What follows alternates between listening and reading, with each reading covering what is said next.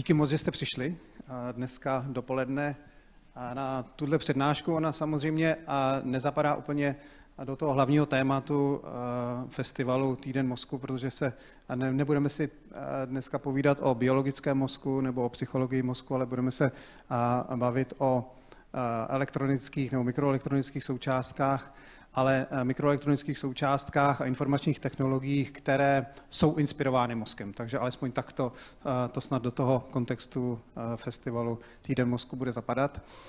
Já jednak se chci představit Tomáš Jungwirth z Fyzikálního ústavu Akademie věd a, a druhou věc, ještě než začnu, chtěl bych se omluvit, že slajdy mám v angličtině. Doufám, že to nebude moc vadit. Já se přiznám, že samozřejmě ten důvod je lenost, protože některé slajdy už jsem měl a byly v angličtině a nechtěl jsem je překládat, ale já jsem dokonce si řekl, že bych měl pro týden mozku to tady přeložit do češtiny. A začal jsem překládat eh, název, kde jsem místo hardware dal hardware, místo information dal informaci, místo technology dal technologii a začalo mi to připadat trochu zbytečné. A hlavně u informačních technologií překládat věci z angličtiny do češtiny, takže za to se omlouvám. Tak, uh, Budeme se tedy dneska bavit o eh, technologiích, které, a informačních technologiích, které jsou inspirovány mozkem. A, eh, já začnu na úvod eh, záznamem zvuku. Samozřejmě zvukovou informaci jsme schopni si uložit v mozku, my si zapamatujeme, co nám kdo říkal, nebo nějakou melodii, ale lidé samozřejmě už dávno toužili potom, aby byli schopni mít nějaký trvalější záznam zvuku, protože biologický mozek má principu tu nevýhodu jakéhokoliv biologického systému, že má omezenou životnost. Zatímco neživé součástky mohou v principu mít mnohem trvalejší fungování a může, můžeme třeba, když se tam uložíme zvuk, tak tam být uložena ne asi nekonečně dlouhou dobu, ale na dobu, která je mnohem delší, než eh, je běžná doba života a třeba nás lidí.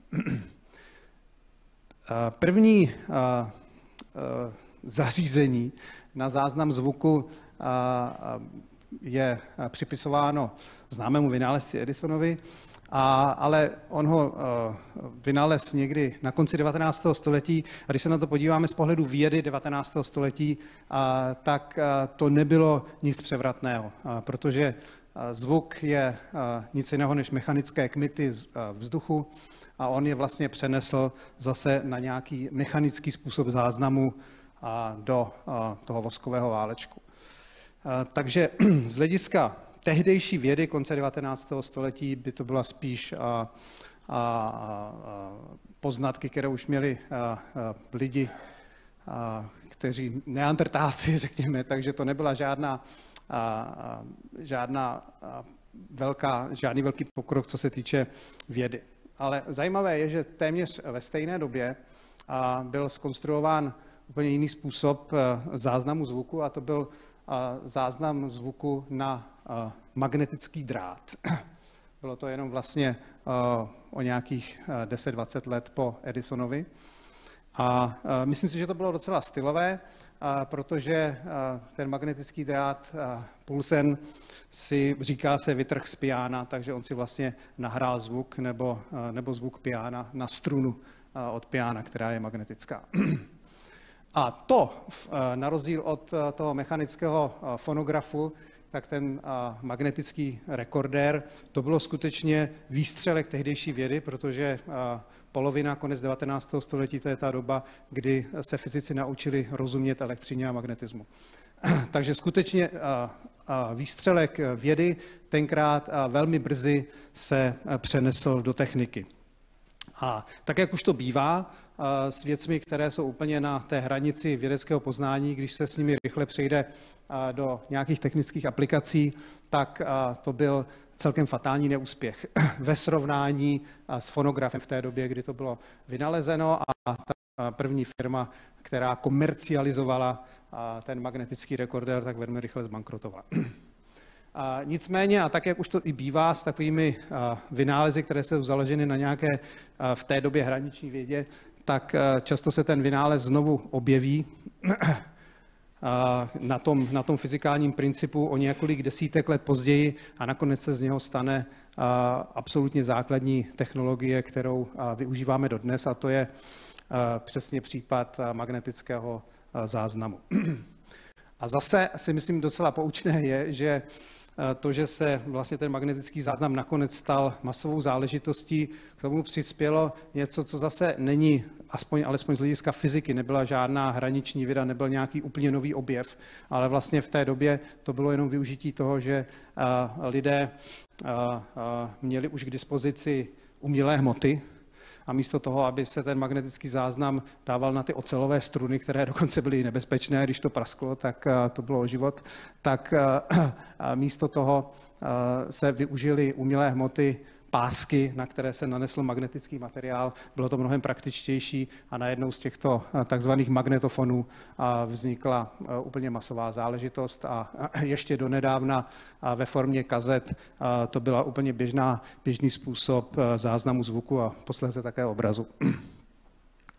A v době a, a o trochu pozdější, někdy v 50. letech, se začaly objevovat jiné a, technologie, které byly také založeny na magnetickém záznamu, ale které se nesoustředily na záznam zvuku nebo videa, ale soustředili se na to, jak eh, bychom mohli ukládat digitální data pro počítače. A tady je eh, dobré si uvědomit, že tyto dva světy byly v této době úplně oddělené. Jedna věc byla skutečně záznam zvuku, obrazu. A druhá věc byly rodící se svět počítačů, kde produkujeme data a, a chceme je také nějakým způsobem uložit. Ten rozdíl mezi těmi světy byl, že v, v oblasti záznamu zvuku jsme ukládali analogové informace. Byl to vlastně téměř přesný přepis tohoto komplikovaného analogového signálu, který má spoustu úrovní a, a přímo na ten, magneto, na ten magnetofonový pásek. Zatímco u digitálních technologií, u počítačů, my ukládáme nuly a jedničky.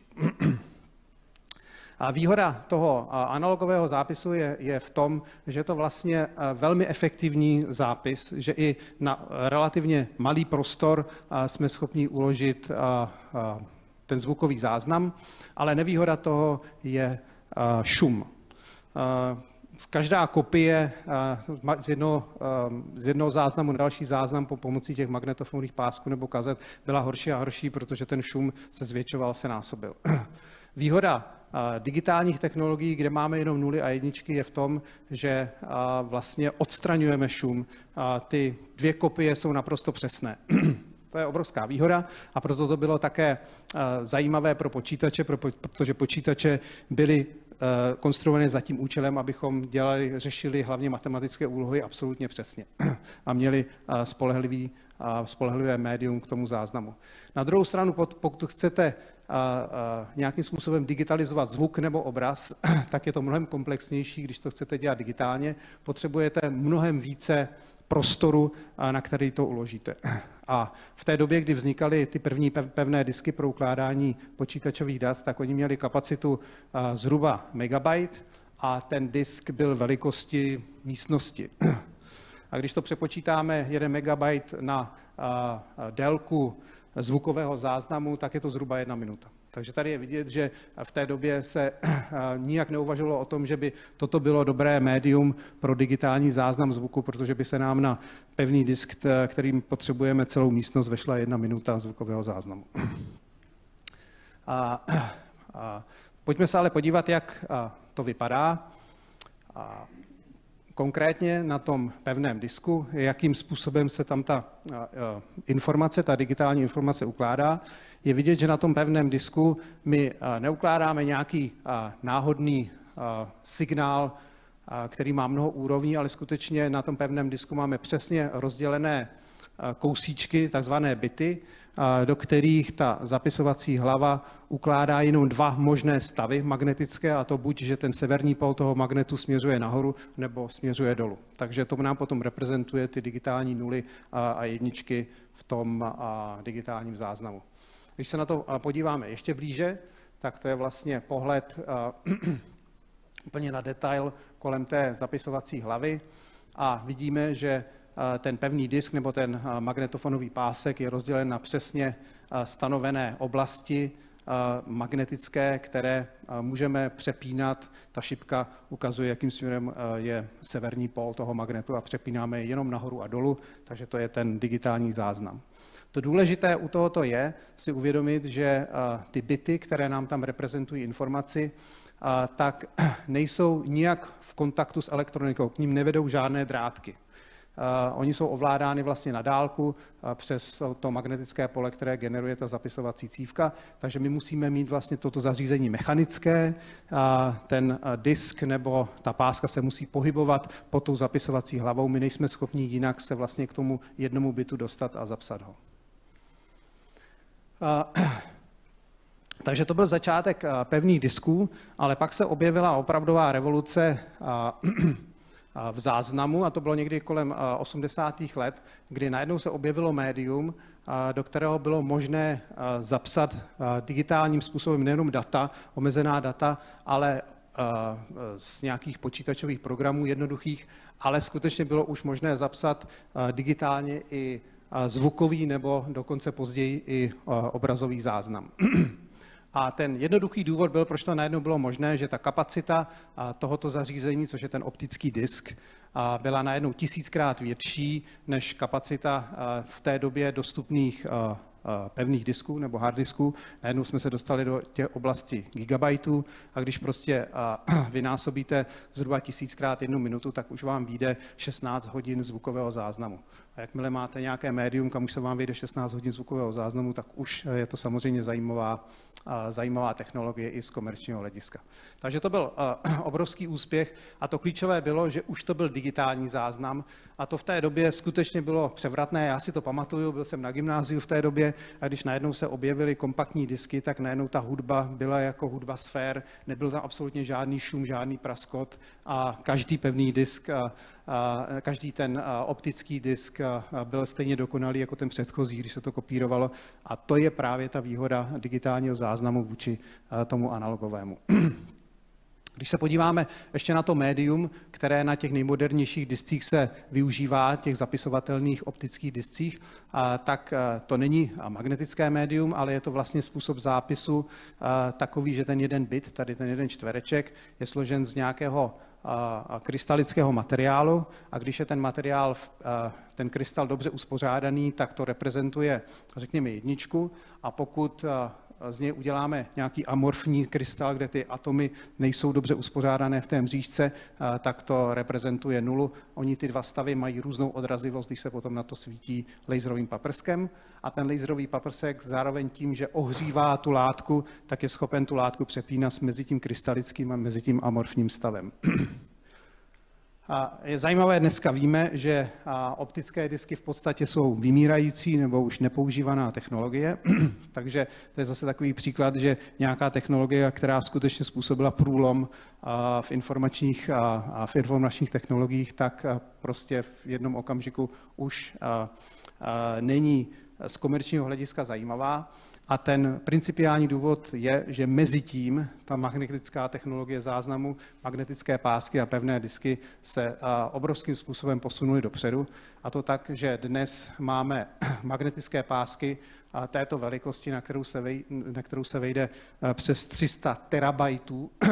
A když to přepočítáte na délku audia, tak na jeden takový magnetický pásek se vejde 600 let audiozáznamu.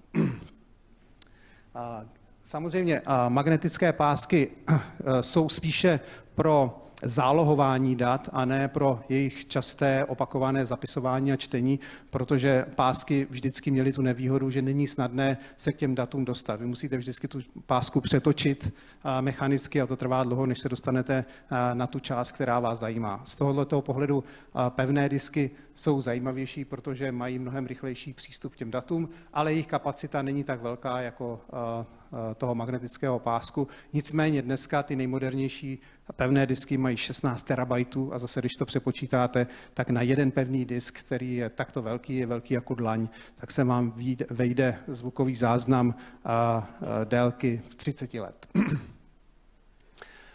Ty optické, optické disky se dneska již téměř nevyužívají, nicméně něco se z těch disků využívá. To je taky zajímavé, že některá technologie posune a, vědu a, a, a ty praktické možnosti obrovským způsobem dopředu, pak ta technologie vlastní umře, ale něco, co k ní bylo potřeba, aby fungovalo, tak přežije.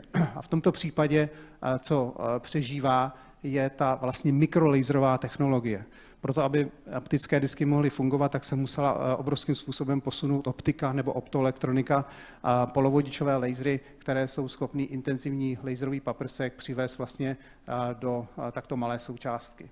A v dnešních pevných discích se lasery využívají. A oni se nevyužívají přímo k zápisu, tak jako to bylo u toho optického disku, ale používají se k tomu, že ten laserový paprsek vlastně předehřívá to médium a když to médium je na vyšší teplotě než pokojové, tak je potom ten zápis naší. Stačí nám menší magnetické pole generované tou zapisovací cívkou. Celé to zařízení pak může být menší a to způsobuje to, že my jsme schopni na ten stejně velký disk zapisovat mnohem menší byty a vejde se nám tam mnohem větší informace. Takže je to zajímavé, že ta, ty pevné disky, které nakonec tím, jak se prudce rozvíjely, tak vlastně způsobili, že optické disky už nejsou užitečná technologie, nicméně si z těch optických disků vybrakovali ten laser a to je to, co dneska umožňuje u magnetického záznamu a ty obrovské kapacity. Všechna ta záznamová média, o kterých jsem mluvil až doteď, byla mechanická. A když je to záznamové médium mechanické, to znamená něco se tam otáčí, tak to v každém případě znamená, že nemohou být příliš rychlá. A to je otázka magnetických optických disků stejným způsobem. A stejně to bylo samozřejmě u gramofonu nebo u toho fonografu. Lidé přemýšleli, jestli by nebylo možné reprezentovat ty nuly a jedničky tedy nějakým ještě jiným způsobem. A myšlenka byla taková, jestli by to nebylo možné eh, reprezentovat nulu a jedničku přímo elektronicky, jednoduchým způsobem, jestli eh, součástkou může protékat elektrický proud, je tedy zapojená, to může reprezentovat jedničku, a když je ta eh, součástka odpojená, nemůže protékat elektrický proud, žárovka nesvítí, tak to reprezentuje nulu. Ale samozřejmě v této realizaci je to zase pořád mechanická součástka, odpovídá to tomu, jakože mám vypínač na stěně a vypínám, zapínám, jednička, nula, ale pořád je to mechanická součástka. Takže ten geniální objev, eh, který nahradil vlastně eh, tu mechanickou část, byl objev transistoru eh, v 50. letech minulého století, kde se úplně odstranila ta mechanická část a ten Způsob, proč to bylo možné, bylo, že místo klasických kovových vodičů eh, se ten eh, kanál, kterým protéká elektrický proud, nahradil polovodičem. A polovodič má tu obrovskou výhodu, že pokud k němu eh, připojíme vlastně elektrodu, na kterou můžeme připojit elektrické nebo přidat elektrické napětí, tak v polovodiči, proto se tomu říká polovodič, není příliš mnoho elektronů, které nesou elektrický proud. A my můžeme tady ten polovodič mít ve stavu, kdy tam ještě elektrický proud protéká, ale když přiložíme dostatečně silné napětí na toto takzvané hradlo nebo bránu, tak jsme schopni úplně elektrony z toho kanálu odstranit a v tom okamžiku ten kanál je jako izolační a vlastně měníme to mezi, mezi mědí a dřevem, řekněme. A, a, buď to teče relativně dobře, anebo ten proud neteče vůbec. A v tomhle okamžiku bez toho, že bychom tam měli nějakou mechanickou část, a v té součástce, tak jsme schopni přepínat mezi žárovka svítí, žárovka nesvítí, mezi nulou a jedničkou. A Transistor e, úplně změnil e, informační technologie a elektroniku, protože v tomto okamžiku už místo mechanických záznamových médií se mohly začít konstruovat integrované elektrické obody, kde nejsou žádné mechanické části a dostáváme se do éry čipů. A když tedy přidám k těm médiím, které máme dneska k dispozici ještě ty polovodičové integrované obory nebo čipy, tak jsou to takzvané flashky nebo flash solid state disky, tak v dnešní době máme flashky, které mají zase kapacitu až v, v tom řádu terabajtů a to jsou flashky, na které můžeme tedy uložit až dva roky audia. Takže zase je to obrovské množství dat, které je možné na takový integrovaný obvod dneska uložit. Takže když máme k dispozici takto mocná média, na která můžeme ukládat samozřejmě nejenom zvuk a obraz, ale všechna možná data, tak to je to, co vlastně dneska způsobuje to je vlastně ten základ, který způsobuje ten obrovský úspěch a obrovský rozmach internetu, protože internet není nic jiného, než že stále generujeme a, a ukládáme někam obrovské množství dat. Ať už jsme to my lidé, kteří sedíme u počítače, anebo v dnešní době je to ten takzvaný internet věcí. A dneska každý kotel v domácnosti moderně instalovaný je připojený k internetu a posílá data do internetu, mobilní a, a a automobilová doprava a tak dále. Všechny, eh, všechny dneska už eh, eh, věci nebo mnoho věcí dneska generuje data a posílá je do internetu. A ta data je samozřejmě potřeba někam ukládat. Takže když si to teďka srovnáme, kam jsme se vlastně dostali ve vývoji součástek pro ukládání dat, informací, tak když se podíváme dovnitř do toho integrovaného oboru, například té nejmodernější flešky, tak tam najdeme integrovaný obvod, který má, to je v angličtině trillion, takže 10 na 12 tranzistorů, v češtině e, je to vždycky posunuté, takže já už ani nevím, jaké slovo k tomu má přiřadit, ale je to 10 na 12 tranzistorů, které jsou v integrovaném obodu. Když to srovnám s lidským mozkem, ten má něco okolo 100 a teď zase v Česku by se tomu řeklo miliarda, takže 10 na 11 neuronů, tak vidíme, že v továrnách, kde se vyrábějí tyto integrované obody, se vlastně dneska už vyrábějí komplexní, komplexnější struktury a než je e, struktura lidského mozku. Takže říká se, že o těch e, nejmodernějších čipech, že to vlastně e, člověk svým způsobem překonal přírodu, že člověk už je dneska schopen vytvářet komplexnější struktury než ty nejkomplexnější struktury dotaz. Prosím, nerozuměl jsem. Hned jsem se chtěl k tomu dostat. To samozřejmě neznamená, že fleška je lepší než lidský mozek.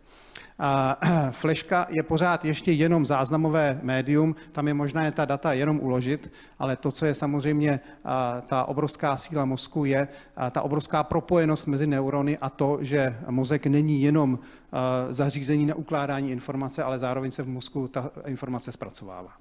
Takže eh, v žádném případě jsem nechtěl říct, že fleška nějakým způsobem konkuruje nebo je konkurenceschopná s tím, co všechno dokáže lidský mozek. Chtěl jsem jenom ukázat na tu komplexitu eh, toho eh, obvodu, který už dneska člověk je schopen v laboratořích nebo ve firmách vytvořit. Ta komplexita samozřejmě není,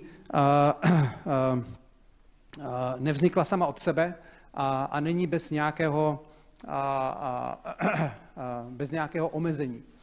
Když se eh, dneska podíváme na to, jak, když můžeme mít eh, ty, eh, ty 10 na 12 tranzistorů na čipu, který se nám vejde na palec, tak to znamená, že ten jeden tranzistor musí být extrémně malý. My jsme začínali v 50. letech s tranzistorem, který byl doslova lidské velikosti a dnes ten jeden tranzistor je veliký v řádu nanometrů nebo desítek nanometrů, ale to znamená, že vlastně velikost tranzistoru začíná být na škálách meziatomových vzdáleností křemíkových atomů v tom krystalu. A to také znamená, že úplně e, z, těch základních fyzikálních principů už dál to zmenšování a, a nemůže fungovat, takže e, ten, ty, ty nej, nejkomplexnější obvody, které máme dnes, tak už není žádná vidina nějakého výrazného zvětšení té komplexity nebo zvětšení množství tranzistorů, které se nám na ten čip vejde. To je fyzikální hranice a ona mezi tím se i vyčerpala ta ekonomická hranice, To bylo takzvané Morovo pravidlo, kde po, po několik desetiletí vlastně byl exponenciální nárůst počtu tranzistorů, který se nám vešel na čip na jeden dolar. Takže vlastně ty čipy stály v podstatě stejně, ale to exponenciální, ale ten, to množství tranzistorů se exponenciálně zvětšovalo, s čím se samozřejmě zmenšovala velikost těch tranzistorů. Ale tohleto takzvané Morovo pravidlo se začalo zpomalovat někdy před deseti lety a pak se dokonce obrátilo. A to znamená, že už i z ekonomického hlediska, byť bychom ještě mohli fyzikálně ty transistory o něco zmenšit, ale už jenom o něco málo, tak už z ekonomického hlediska to začalo být extrémně, extrémně náročné ten trend udržet. Takže to je jedna cena, kterou jsme zaplatili za ta mocná záznamová média. A ta druhá cena je energie to, že eh, my generujeme takové obrovské množství dat, někam je ukládáme, ale zároveň je také chceme zpracovávat, také znamená, že eh, informační technologie začínají být velmi vážným hráčem eh, v té celkové spotřebě elektrické energie. A v dnešní době je to někde okolo 5-10% ale výhled v blízké budoucnosti 2030 už je, že se to blíží čtvrtině celkové spotřeby elektrické energie nebo výroby elektrické energie. Takže je vidět, že to je trend, který je neudržitelný, protože když se podíváme na to, kolik dat putuje sem a tam po internetu, tak i tam vidíme, že je to exponenciální nárůst.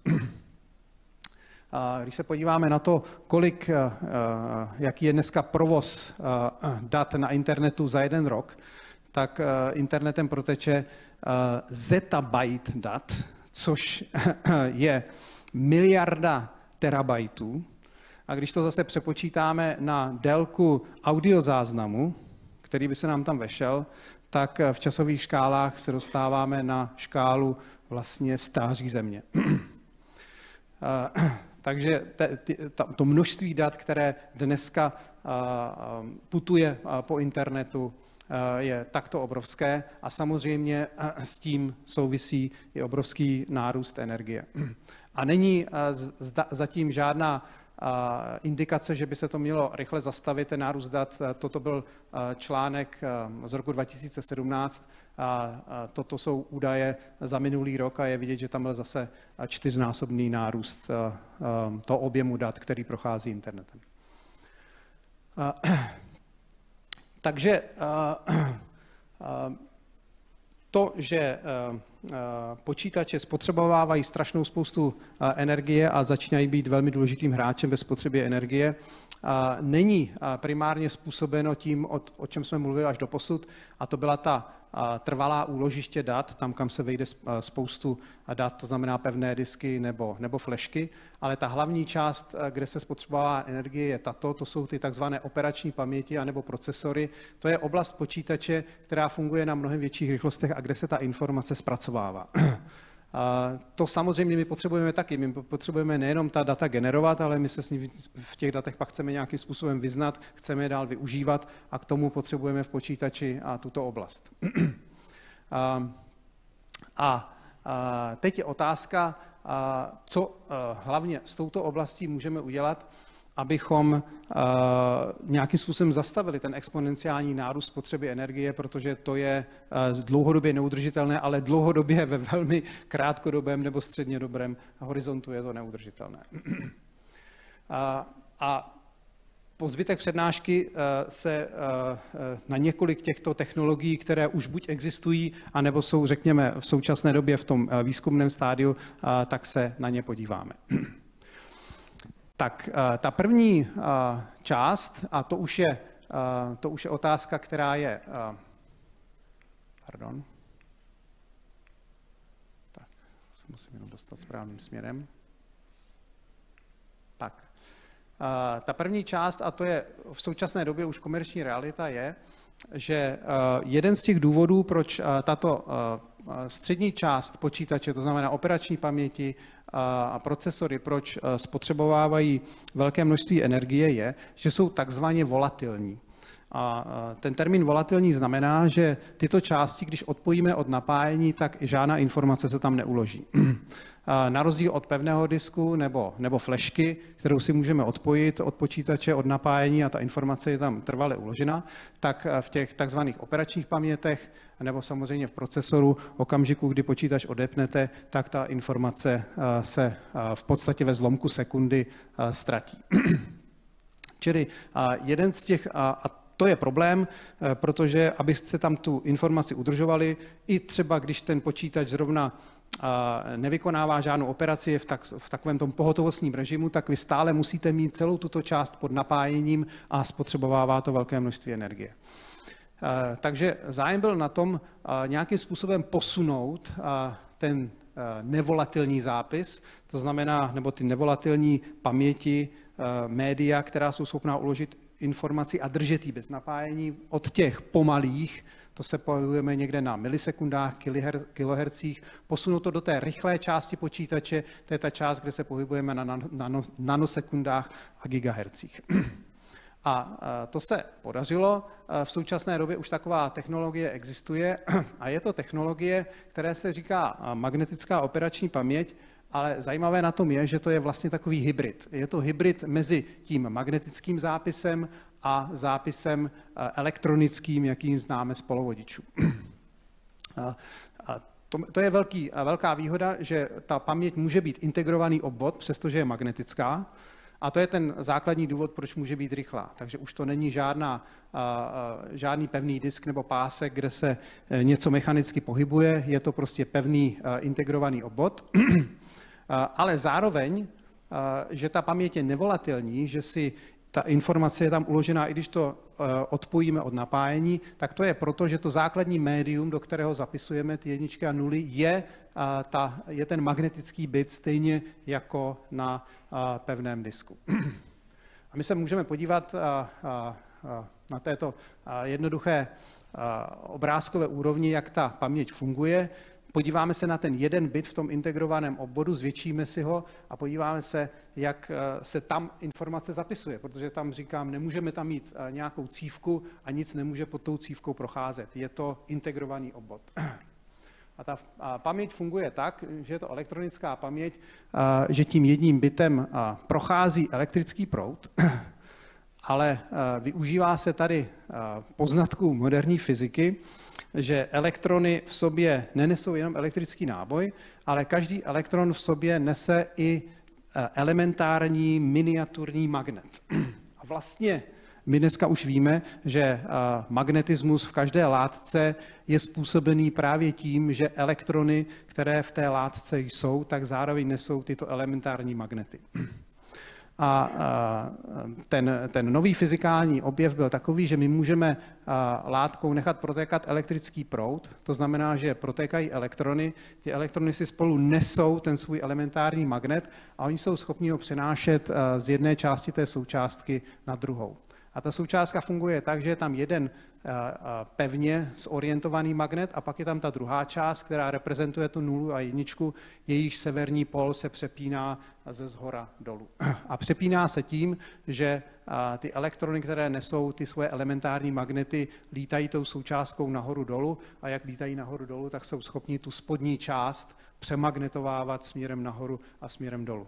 Takže je to magnetická paměť, ale je to i, je to i elektronická paměť, protože je založená na elektrickém proudu. A to je ten zásadní rozdíl proti tomu klasickému magnetickému záznamu, kde ještě jednou ty byty nebyly nějak připojeny do obvodu a ten záznam byl vlastně na vzdálený záznam pomocí magnetického pole generovaného tou cívkou. To byl způsob tohoto zápisu do magnetu, ten elektronický způsob, byl úplně nový fyzikální objev někdy na konci 80. let minulého století a díky tomu, že to byl úplně nový fyzikální objev, tak za něj byla udělena v roce 2007 Nobelova cena, ale já si myslím, že i velký důvod, proč byla udělena Nobelova cena, byl ten, že velice rychle tento fyzikální objev se přetavil do komerčních aplikací právě těchto magnetických nevolatilních operačních pamětí, kde první vlastně komerční paměti byly uvedeny na trh někdy okolo roku 2006.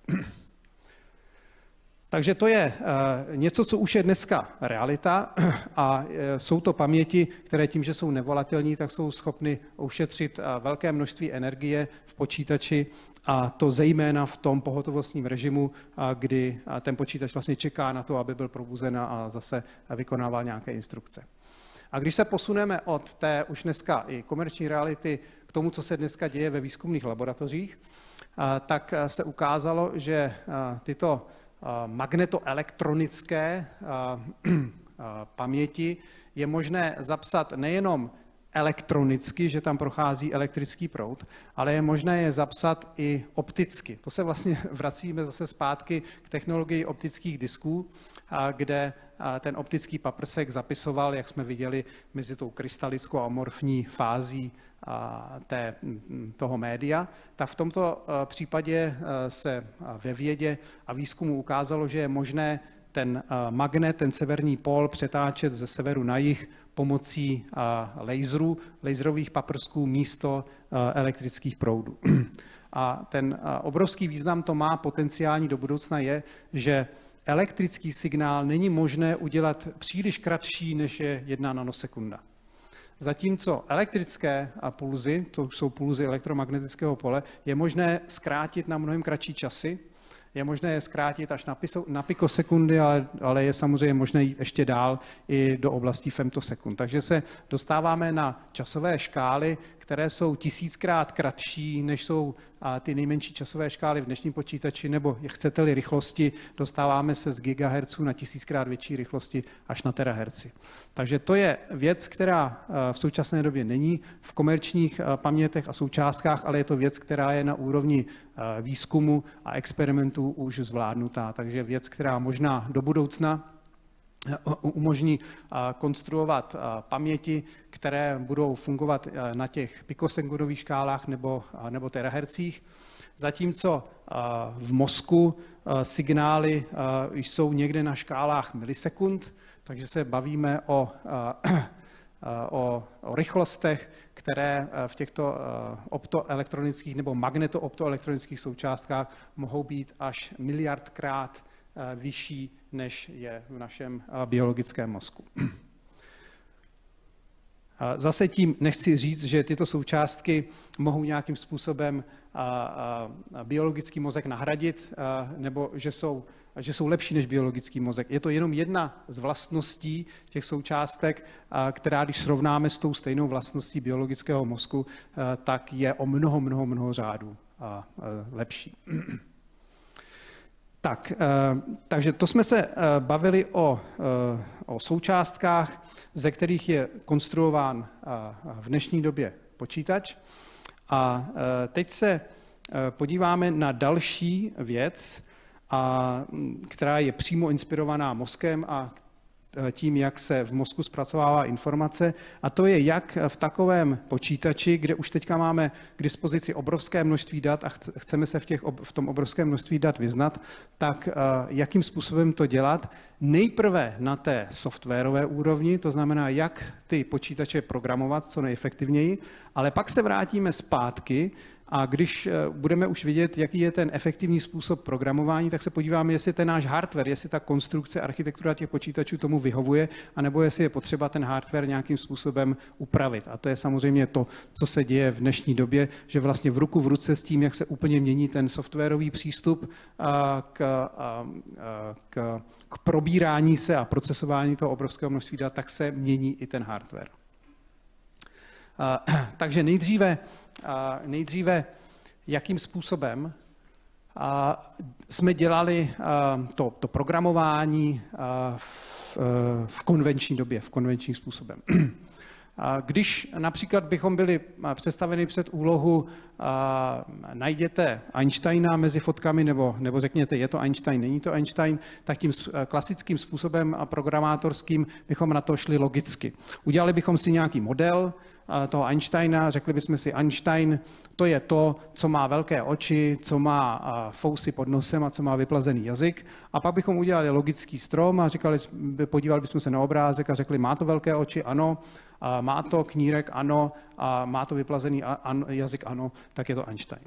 Takže to by byl ten konvenční způsob programování, který samozřejmě nemusí vždycky fungovat. Zvláště nefunguje u problémů, jako je rozpoznávání obrazu, překládání jazyka a tak dále, kde ta úloha je komplexní. Pokud tento způsob programování řeší nějaký problém, na který máme velice dobrý matematický model, tak je to ten správný přístup. Ale pokud to řeší nějaký komplexní problém, který neumíme dobře přeformulovat na nějaký přesný matematický model, tak tento způsob programování je prostě neefektivní. Takže jeden způsob, jak můžeme pokračovat, je, že budeme ten model zpřesňovat, bude ten program, ty logické kroky čím dál tím komplikovanější a komplikovanější, ale tato snaha byla, řekněme někde mezi těmi roky 2000-2010 stále eh, dělat tyto programy komplikovanější a komplikovanější, ale ty výsledky byly eh, velice špatné. A když jste se podívali třeba na jazykové překladače někdy před hm, nějakými deseti lety, tak to bylo spíše úspěvné k smíchu a bylo to založeno primárně na takovýchto způsobech programování. A proto se přešlo na způsob, který je opravdu přímo inspirovaný tím, jak funguje náš mozek.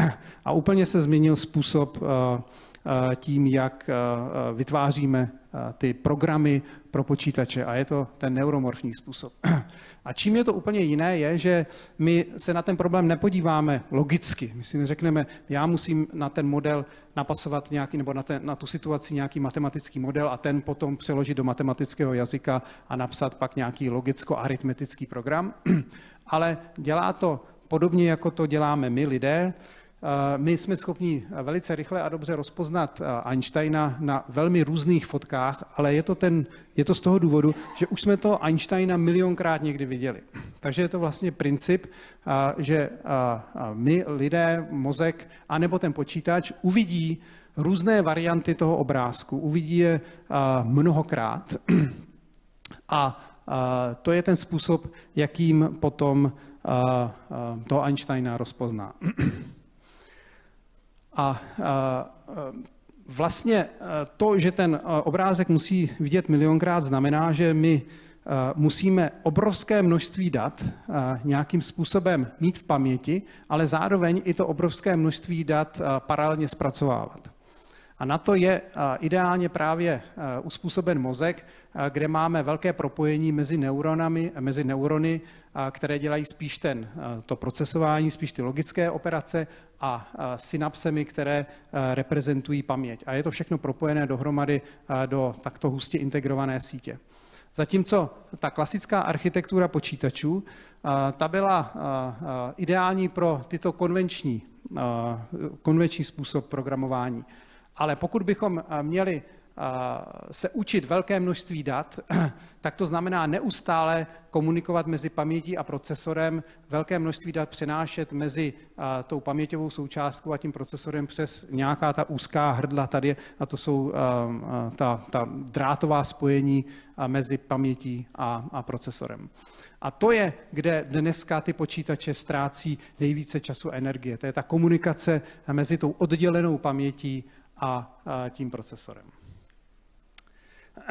Takže eh, pojďme se podívat eh, na to, jak se dneska eh, z hardwareového hlediska s tímto problémem počítače srovnávají, ale k tomu, abychom to dobře pochopili, tak je přeci jenom ještě jednou ještě dobré se podívat na to, jak vypadají tedy ty nové principy kódování. Ty, ty principy kódování, kde vlastně my nemáme nějaký logický program na to, ale na základě naučeného velkého množství dat ten program automaticky okamžitě rozhodne, jestli to je Einstein nebo není. Tak pojďme se podívat, jaký je úplně základní princip těchto programů.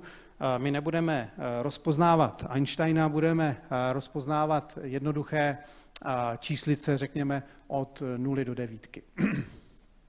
A já vám to ukážu tady na té nejjednodušší variantě, nejjednodušší modelové variantě, jak je takový program konstruován.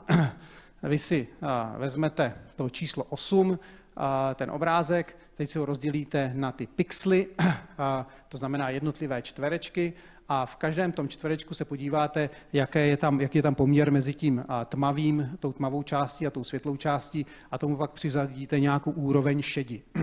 A to bude hodnota toho pixelu bude daná v nějakém reálném čísle x. A takto si ty všechny pixely poskládáte hezky do řady a ty pixely, které tedy reprezentují tu vstupní informaci, ten vstup, tak potom propojíte, podobně jako to máme v mozku, na nějaké výstupní, čemu se říká i v, i v programování neurony. A každý ten vstupní pixel je propojen nějakou vahou k tomu danému neuronu. A teď ten princip toho programování je takový, že vy musíte najít takové váhy, to znamená takové hodnoty, kterými, když tyto vstupní, ta vstupní čísla vynásobíte, a jde to k tomu správnému neuronu, k tomu neuronu, který reprezentuje to číslo 8, tak byste měli dostat nejvyšší číslo. To znamená, já vždycky vynásobím ten jeden vstupní pixel s tou odpovídající váhou, která jde k tomu odpovídajícímu neuronu, pak druhý pixel s tou druhou váhou, která jde k tomu stejnému neuronu, tak toto prosčítám a nakonec tak toto vynásobím a nakonec to ještě vysčítám. A když tato hodnota je větší než nějaká hraniční hodnota, kterou si stanovím, tak řeknu ano, je to osmička. To je ten správný způsob. A mělo by to být tak, že když a potom jdu s těmi stejnými vstupními hodnotami, ale jdu k jinému číslu, přes ty jiné váhy, tak tady dostanu pak celkovou hodnotu, která bude menší, bude menší, než je tato hraniční hodnota a ten neuron mi nevyzáří, ten neuron mi řekne, ne, ne, ne, ne, nula to není. Takže to je vlastně princip toho počítání. My si to můžeme si to ještě jednou graficky znázornit, čili to, co dělá veškerá ta matematika, která je za tím programem, ta základní matematika je, že my si rozpixlujeme ten vstupní obrázek, přiřadíme tomu nějakou hodnotu na škály šedé, Tady máme k tomu vždycky odpovídající tu váhu nebo, nebo ten parametr, který to spojuje s tím daným neuronem a jenom to mezi sebou pronásobíme a, a, a podíváme se, co nám vyjde. tak. Takže to byl příklad toho, kdy jsme tam měli vstup, který odpovídá osmičce, ale provázali jsme to s váhama nebo s těmi parametry, které vedou k neuronu, který by měl hlásit sedmičku. Takže tady vidíme, že někde máme docela dobrý překryv, ale ten zbytek je celkem slabý, to, ta čísla jsou malá, a, takže a, tady ten neuron by nám nezasvítil. A sedmička to není. Když ale bych udělal ten, to stejné cvičení potom s váhami, které mi vedou k tomu neuronu 8, tak vidím, že tady mám už lepší překryv, mám silnější signál. Tady tedy to kolečko vždycky odpovídá tomu x krát v, ten vstupní parametr krát ta váha a, a vidím, že tady už mám větší, větší odezvu. Toto už by bylo větší než, ten, než ta než ta mes a ten neuron by řekl, zasvítil by a řekl by, jo, je to osmička. A kdybych udělal devítku, tak zase devítka, propojil bych ty vstupní hodnoty těmi jinými váhami k tomu neuronu 9 a tam by zase nebyla ta schoda tak dobrá. Takže devítka to není.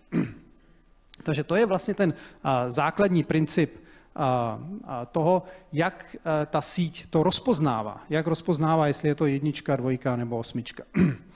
Ale nic jsem zatím neřekl o tom, jakým způsobem ale my stanovíme ty váhy. A ty váhy se právě stanovují procesem učení. Eh, že počítač je vystaven obrovskému množství různě zapsaných, ručně zapsaných osmiček.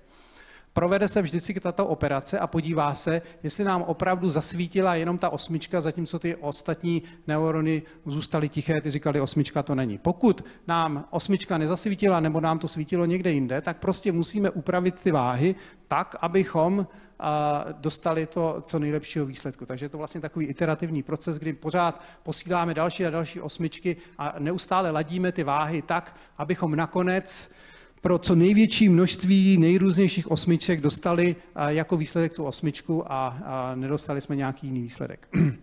Ale tady vidíte, že už v principu to řešení nebude exaktní, bude záviset na tom, jak dobře mám nastavený ten proces učení a že ty neuronové sítě samozřejmě můžou velice snadno nám dát také špatný výsledek, ale nicméně tak podobně jako náš lidský mozek. Ale pokud budu dělat ty neuronové sítě lepší a lepší a trénovat je lépe a lépe, tak empírie ukazuje, že ty výsledky se prudce zlepšují a že ty neuronové sítě jsou skutečně schopné se velice dobře učit. Klíčové proto je, že ty dnešní neuronové sítě jsou takzvané hluboké, to znamená, tam nejsou jenom dvě úrovně vstupních neuronů a těch výstupních neuronů, ale je tam mezi tím spousta dalších ještě úrovní, spousta dalších vah, které se nastavují a pokud máte takovou tu hlubokou neuronovou síť a, a, a nějakým způsobem, a, jak jsem popsal předtím, ji učíte, tak ona je už potom schopná a, a velice dobře rozpoznávat nejenom jedničku, dvojku a osmičku, ale samozřejmě i mnohem, provádět i mnohem komplikovanější úlohy rozpoznávání obrazů, překládání jazyka nebo dokonce vytváření nových textů. Takže to, bylo, to byla ukázka na té softwarové úrovni, ale teď se musíme ještě podívat na tom, jak se tedy s tím vyrovnává ten hardware. A pojďme se podívat, jak by to dělal e, počítač někdy před nějakými deseti lety, v době, kdy lidé už dobře znali neuronové sítě, byli dobře motivováni, už se začala tvořit velká množství dat, byli motivováni k tomu, aby aby něco takového začalo fungovat, ale ono to nefungovalo. A nefungovalo to proto, že ta architektura počítače k tomu nebyla vhodná. Ten klasický počítač, jak jsme si ukazovali, má ten procesor, který je dráty spojen s pamětí. Takže když chcete udělat tu operaci, kterou jsem na tom předchozím slajdu popsal, ten, to kódování, to znamená, vždycky vy musíte z paměti natáhnout do toho procesoru hodnoty eh, těch vstupních pixelů, musíte eh, do toho procesoru natáhnout hodnoty těch vah nebo těch parametrů. A pak procesor udělá to, že je mezi sebou vynásobí a nakonec posčítá. Takže vidíte, že vy neustále eh, posouváte mezi pamětí a procesorem data. A pokud je potřeba, aby ta síť fungovala dobře, tak vy potřebujete ji učit velkým množstvím dat, takže těch operací přenášení dat mezi pamětí a procesorem je strašně velké množství. Zároveň, když vy potom chcete, aby i ta e, síť vám fungovala dobře e, na komplexních problémech, tak vy musíte spoustu dat, vstupních dat zase přenášet z té paměti do toho procesoru. Takže pokud je to v takovéto sériové architektuře, kde jedna operace následuje druhou jakoby vláček, jako v sérii za sebou, tak to jednak trvá strašně dlouho a je to energeticky nevýhodné. A to kritický, ten kritický problém je to propojení mezi pamětí a procesorem a tomu se říká ten takzvaný Foyn Neumannův bottleneck nebo to úzké místo. Takže revoluce ve využívání těch neuronových sítí, hlavně potom těch hlubokých neuronových sítí, byla paralelizace toho procesu, že místo toho, abychom měli jenom jeden procesor připojení k jedné paměti, tak my vidíme, že my vlastně stále opakujeme stejnou operaci. Tak klíčové bylo mít architekturu počítače, kde je mnoho menších procesorů spojených s menší pamětí, ale ta operace se vlastně provádí paralelně. A to, co bylo zajímavé, tak eh, v té době, kdy eh, to lidi poprvé začali využívat, tak vlastně ten hardware byl k dispozici. A to byl také jeden z těch důvodů, proč nástup eh, těch, té umělé inteligence a těchto těch algoritmů mohl být tak rychlý, protože v té době bylo k dispozici něco, čemu se říká, není to CPU, není to Central Processing Unit, ten klasický procesor, ale je to takzvaný GPU, grafická procesní jednotka. A to byla grafická karta, které byly, grafické karty, které byly vyvinuty primárně pro herní konzole, proto kde se bylo potřeba udělat spoustu paralelizovaných operací. Nebylo to původně myšleno ani na neuronové sítě, ale když se poprvé začaly ty grafické karty nebo tyto typy procesorů využívat pro pro neuronové zpracování, tak se ukázalo, že jsou řádově efektivnější a že najednou vlastně to, to začíná fungovat. skokově se zlepšily překladače a tak dále. A, a, a v těch klasických grafických kartách najednou vlastně na tom čipu bylo něco jako 2000 procesorů spojených se svou malou pamětí a, a místo, místo klasického, řekněme, jednoho nebo, nebo dvou nebo čtyř procesorů, tak už to byly tisíce. Takže to bylo obrovské zrychlení, ale pořád to byl, řekněme, byl to komerční čip, který byl vyvinutý dokonce i původně za jiným účelem. Když si potom lidé uvědomili, jak mocná, mocný nástroj je ta paralizace, tak se dokonce vyvinuli i speciálně designované čipy, a to je dneska, co, co je vlastně největší hit těch komerčních čipů, že jsou to speciálně designované čipy právě pro provádění těch neuromorfních operací.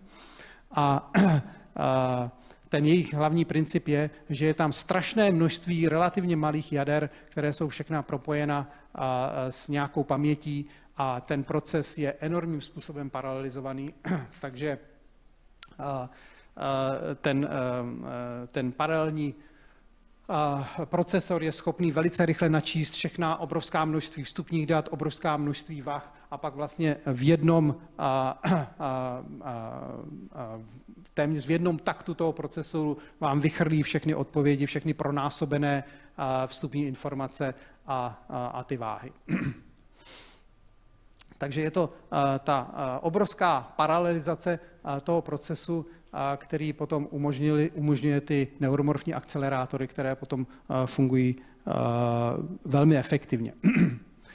A to základní vlastně na tom je, že když jsme se podívali na tu operaci, kterou potřebujeme matematickou, my už na to potřebujeme víceméně násobení a sčítání. Takže ty procesory, ta jádra se mohou udělat mnohem jednodušší než těch počítačů před, řekněme, deseti lety, kde tam bylo už v tom procesoru na programu mnoho komplikovaných matematických funkcí. Ten procesor bylo to jádro počítače, zatímco dneska klíč je ta paměť, ta možnost velice rychle z paměti přenášet obrovské množství dat, ale ten, ten, ty výpočty jsou svým způsobem z matematického hlediska jednoduché. Takže to je realita, která je komerční a my se teď v těch posledních minutách už dostaneme jenom k tomu, co je buď řekněme ve stádiu vývoje, anebo dokonce v laboratořích. Jedna z těch věcí, která se zkoumá, je vlastně přechod od digitálního zpátky k tomu analogovému. Ještě jednou to, to digitální vzniklo, protože jsme chtěli mít počítače, které budou naprosto přesné a spolehlivé ale eh, ta cena, kterou jsme za to platili, byla ta komplexita. Ten, pokud chcete něco vyjádřit digitálně, bývá to mnohem komplexnější než, eh, než analogově. A my tady vidíme u toho neuromorfního eh, počítání nebo u toho, jak funguje náš mozek, že vlastně tam nejde o tu absolutní přesnost, protože ta absolutní přesnost asi ani není v principu dosažitelná. A takže my si můžeme dovolit nějaký šum, a pokud je to s tím benefitem, že velkým způsobem zvýšíme efektivitu toho, toho zařízení.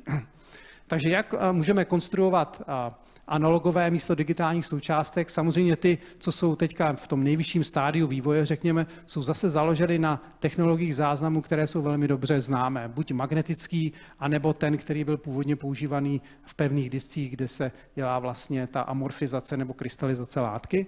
Ale místo toho, abychom měli jenom dva stavy, abychom měli magnet, který má severní pol směřující nahoru nebo dolů, nebo abychom měli látku v krystalickém stavu nebo amorfním, tak vytváříme i nějaké mezistavy. Že část toho našeho bytu pořád ještě má ten severní pol, který jde jedním směrem a jenom část se vlastně přehodí opačným směrem. A tady vidíte, že to můžete takto dělat postupně, takže ten, ta jedna součástka může mít nejen dva stavy, ale může mít celou škálu stavu a stává se s digitální analogovou. To samé i s tou krystalizací, vy vidíte, že můžete postupně, postupnými kroky tu látku krystalizovat nebo amorfizovat a tím vlastně mít nejenom jedničku a nulu, ale mít analogové informace. A, a proč je to e, zajímavé mít takovou analogovou součástku, a to jsou obory, které už se vlastně experimentálně demonstrovaly, je, že vlastně vy jste schopni pomocí takovéhoto takzvaného analogového memristoru, takže to je součástka, která je podobná jako odpor, ale má spoustu úrovní toho odporu, tak jste schopni zrealizovat přesně tu funkci, kterou jsem předtím popisoval. To je ta funkce vynásob a sečti. Ale je to možné udělat vlastně v takovémto analogovém obvodu, kde ty vstupní údaje jsou napětí v takovémto obvodu, ty váhy, to bude ty spojitě se nastavitelné úrovně odporu, a ta odpověď, to, co pak putuje do toho neuronu, ta vynásobená a sečtená část je potom proud, který změříte. A je to vlastně jenom základní zákony elektrických obvodů, které říkají, že ten proud, který mi poteče na konci této větve, není nic jiného než součet, než, než součet součinů přiloženého napětí a vodivosti na tomto odporu. Takže já vždycky vynásobím vodivost a odpor a tady přičtu k tomu další, pardon, vynásobím napětí s vodivostí, tady vynásobím další napětí s vodivostí, posčítám to a to je ten celkový proud, který mi tady teče. Takže vidím, že vlastně takovým analogovým obvodem já jsem schopen udělat tuto základní neuromorfní ten, tu, tu proceduru a nepotřebuju k tomu mít složité digitální obvody těch počítačů. Takže to je jeden způsob, jak vlastně tu celou věc energeticky, případně i časově zrychlit. A e, ta poslední, ten poslední princip je potom, že my vlastně přejdeme od těch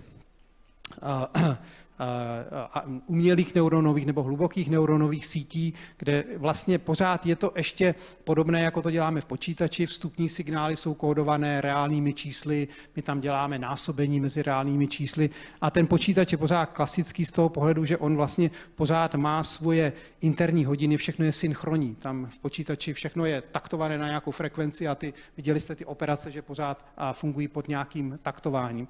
Eh, to má eh, tu nevýhodu, že i když ten neuron k němu dochází samé nuly, nebo samá informace, která je slabá, vlastně ten neuron eh, ne, nezáří, ne, nedochází, nepřichází k němu žádná efektivní informace, tak ten klasický počítač, který jede pod nějakou frekvencí, tak pořád jede. Posílá tam teda ty nuly. A to, to spotřebovává stejnou energii, jako kdyby tam posílal nějaký efektivní signál.